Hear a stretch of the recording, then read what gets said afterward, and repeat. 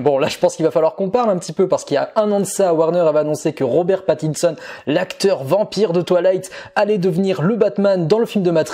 Et un an après, la bande-annonce est enfin sortie et tout le monde a l'air de dire que mon dieu, c'est le Batman idéal, c'est un acteur extraordinaire, exceptionnel. Et vous avez raison, car il est extraordinaire, il est exceptionnel, mais pas depuis Batman.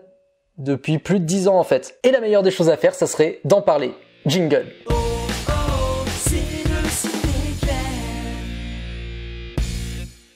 Hey, hey, hey, salut à tous, bienvenue dans le Ciné Club. J'espère que vous allez bien et on se retrouve aujourd'hui pas pour une nouvelle critique, mais pour une vidéo spéciale car je vais vous parler de l'acteur Robert Pattinson. Et en préparant cette vidéo, j'ai eu l'impression d'être très intime avec lui, donc si ça vous dérange pas, je vais l'appeler Robert. Donc la question du jour, c'est qui est Robert Pattinson? Ou Robert pour les intimes? Eh bien, c'est un acteur né le 13 mai 1986 en Angleterre, précisément à Barnes. Ses parents, ils sont pas du tout comédiens. Pour vous dire, son père c'est un importateur de voitures de collection et sa mère travaille dans une agence de publicité. Donc absolument rien à voir avec le cinéma. Sauf que l'agence de la maman, ça va être le petit plus qui va mettre le pied de Robert à l'étrier. Parce que grâce à maman, il intègre dès l'âge de 12 ans le monde du mannequinat. Et en y réfléchissant, c'est quand même dingue de se dire que celui qui allait devenir le futur Batman était à la base un mannequin et qui s'appelait Robert. Et en plus, c'était quelqu'un qui était très apprécié dans le monde du mannequinat parce qu'il avait un look androgyne, il avait un visage très efféminé. C'était quelqu'un qu'on appréciait justement bah, dans ce milieu-là. Sauf que le problème, au bout d'un moment, bah, le visage très efféminé, bah, il a commencé à changer, il a vieilli, il a grandi et ça marchait plus trop pour lui, le pauvre Robert. Aujourd'hui, si tu le croises dans la rue et que tu lui poses la question, il va dire qu'il a clairement aimé sa carrière de mannequinat et que justement le seul moyen de rester un peu dans le milieu artistique et sortir de ça, c'était de passer à autre chose et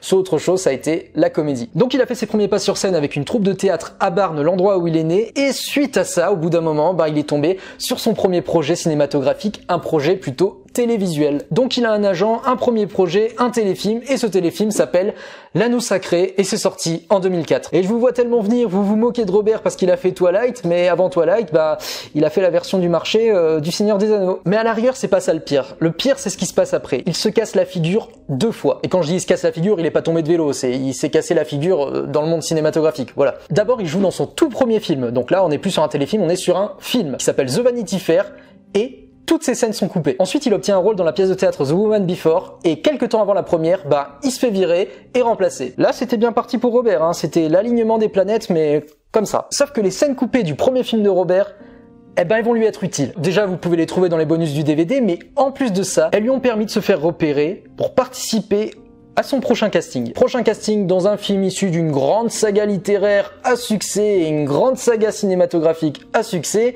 il obtient le rôle de Cédric Diggory dans le quatrième chapitre de la saga Harry Potter. Et oui monsieur, Robert dans Harry Potter. Et donc là la machine s'enclenche, c'est-à-dire que ça lui donne une immense visibilité, une aura, c'est un acteur qu'on apprécie, c'est une gueule qu'on apprécie. Robert le sait pas encore, mais ce film-là va lui ouvrir des portes, et cette porte s'appelle Twilight. Ok, ok, lui il est pas spécialement fan du délire et si tu lui en parles aujourd'hui, pareil, euh, comme sa carte de mannequinat, il va te dire que il en est pas très très fan. Après, en toute honnêteté, t'as plus de chances de le rencontrer dans la rue que de le voir faire. Mais après, il faut le comprendre, c'est-à-dire que son personnage est mort dans la saga Harry Potter, à peine apparu, à peine disparu, et là on lui repropose un autre projet d'envergure, c'est-à-dire un autre projet qui est issu d'une saga littéraire à succès.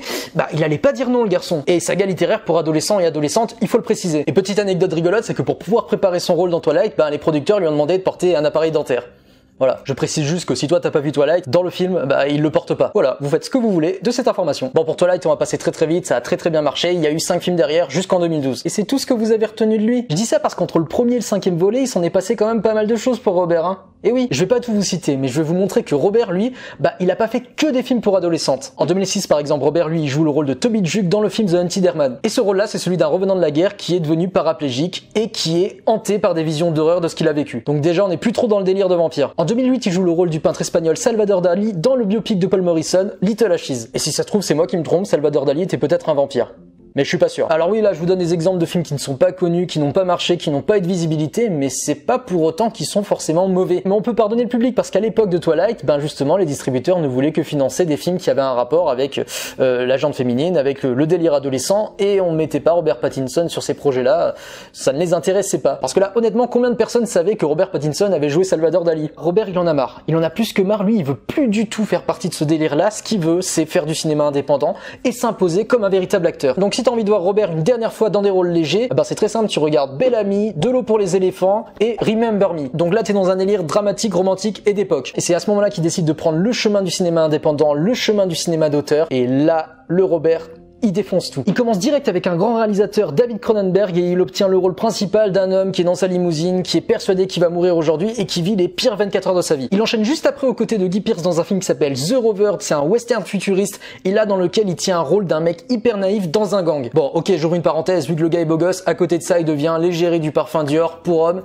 J'adore. Mais ça, ça n'a eu aucun impact sur le cinéma, hein. rassurez-vous. Robert, lui, il a pas le temps. Il trace et il enchaîne de suite avec un autre film de David Cronenberg, Maps to the Stars, dans lequel il tient un rôle aux côtés de Julianne Moore et John Cusack. Rien que ça. Et au passage, le film est sélectionné en compétition officielle du Festival de Cannes. Et oui, Twilight, hein, ça t'embouche un coin. Hein. En 2015, il tient le rôle de Laurence d'Arabie dans le film Queen of the Desert, aux côtés de Nicole Kidman et James Franco. Donc là, franchement, en termes de casting, il s'entoure plutôt pas mal, Robert. Et après l'épisode, Salvador Dali retourne sur un biopic. Cette fois-ci, le biopic s'appelle Life et raconte l'histoire de Denis Stock. Donc Denis Stock, personnage principal, Tony par Robert Pattinson, qui est photographe pour le magazine Life Magazine et qui doit faire un reportage sur l'acteur James Dean. Au passage, dans la même année, il joue dans un autre film aux côtés de notre actrice française Bérénice Bejo. Et l'année d'après, il joue le rôle d'une danseuse étoile qui collectionne les cailloux. Non, non, ça c'est pas vrai, je voulais juste savoir si vous suiviez. Et plus sérieusement, en 2016, il rejoue dans une histoire vraie réalisée cette fois-ci par James Gray, The Lost City of Z, avec Tom Holland dans le film. Tom Holland, plus la peine de préciser, c'est Spider-Man, pas le fils de François. Et on continue, en 2017, il incarne le rôle de Connie Nikas dans le film Good Time. Et le film remporte un immense succès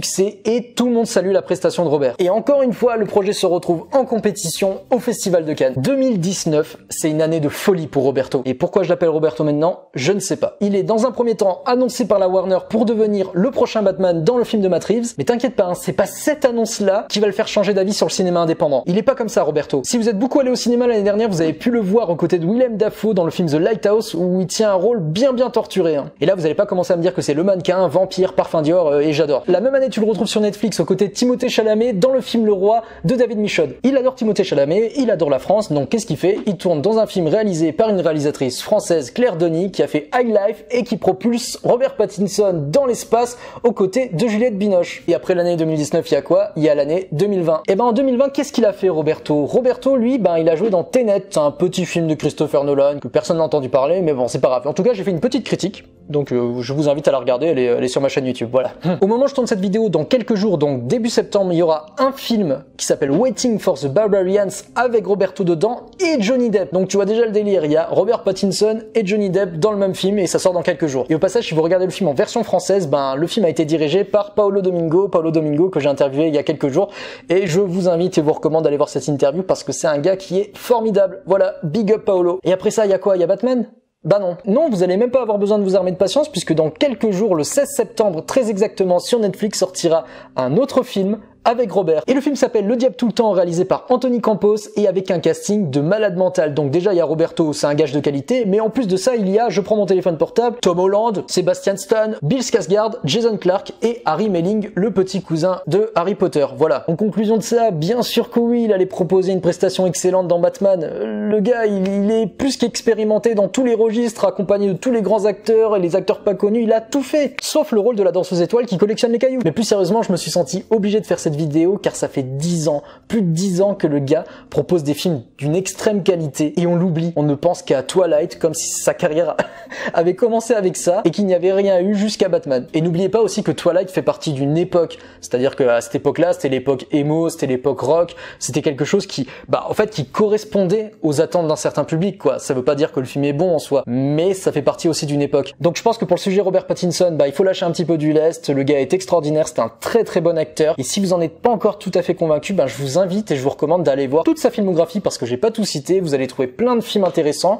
et bah voilà, ça vous fera de quoi patienter euh, avant Batman et je pense que c'est plutôt cool. Et voilà, cette vidéo se termine là pour aujourd'hui. J'espère qu'elle vous a plu. N'hésitez pas à rejoindre mes réseaux sociaux Twitter, Facebook et Instagram, à mettre un petit pouce bleu, à vous abonner, à activer la petite cloche et un commentaire pour me dire si ce format-là vous plaît. C'est-à-dire que si cet épisode vous plaît de Parlons d'eux, bah on pourrait parler d'autres acteurs, d'autres réalisateurs ou d'autres euh, personnes euh, du milieu du cinéma. Dites-moi s'il y en a qui vous intéressent, acteurs, actrices, qu'importe. Euh, voilà, si c'est une histoire intéressante, si vous pensez qu'on a besoin de les remettre un petit peu en lumière ou de leur donner un petit peu de boom au cœur, ben on va le faire parce que je sais que Roberto regarde mes vidéos. Donc voilà.